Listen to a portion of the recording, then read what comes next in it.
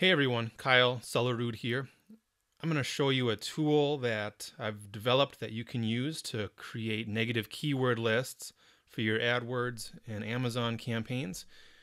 Um, it's brand new, so if you're watching this video in the future, the site might look different, um, but this is the, the first version of the site that you're getting to see right now.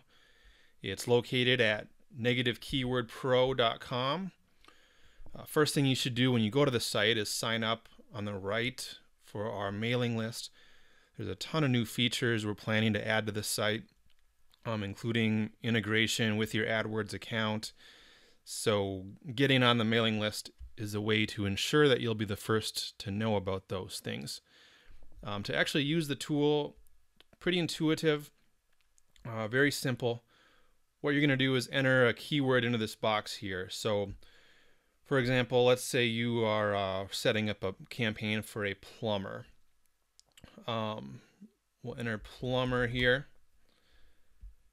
and then click get suggestions.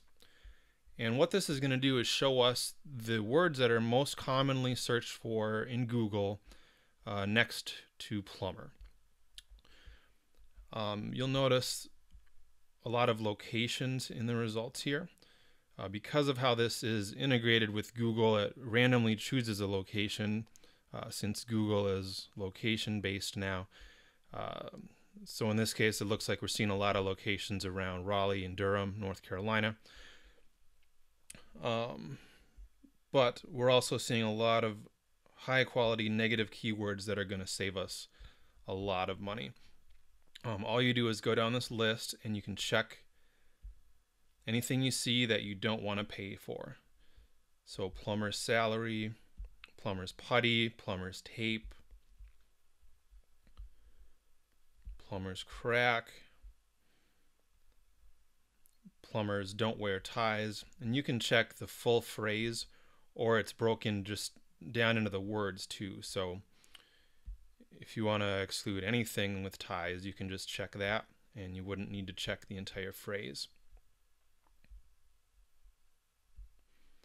Plumber snake. Um, you go down the whole list doing that, and what you're going to end up with here is a list of negative keywords.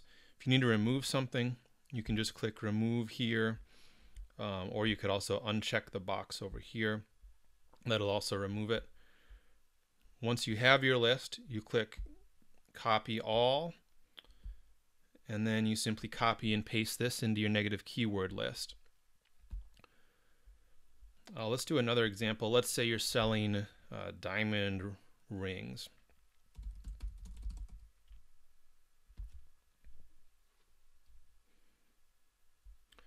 Uh, so again, we're going to see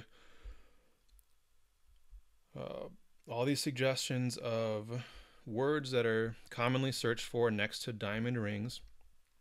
Um, depending on what kind of rings you're selling, um, you're going to probably want to exclude different keywords.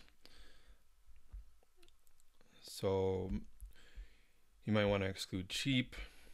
You definitely want to exclude lyrics, bar stools. Um, again, just go down this whole list. It may take you a while, but with the amount of money you'll save from excluding these searches, it'll be more than worth it. You have your list, copy all and copy and paste this into your account.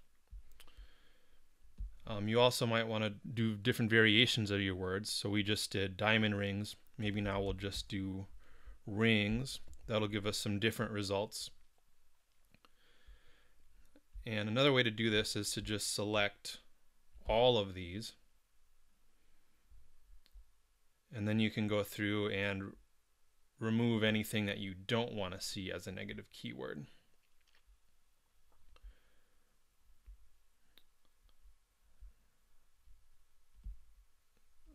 So you might want to remove these for men, for women. Um, if it looks like most of the suggestions are good suggestions, then I'd recommend doing the select all.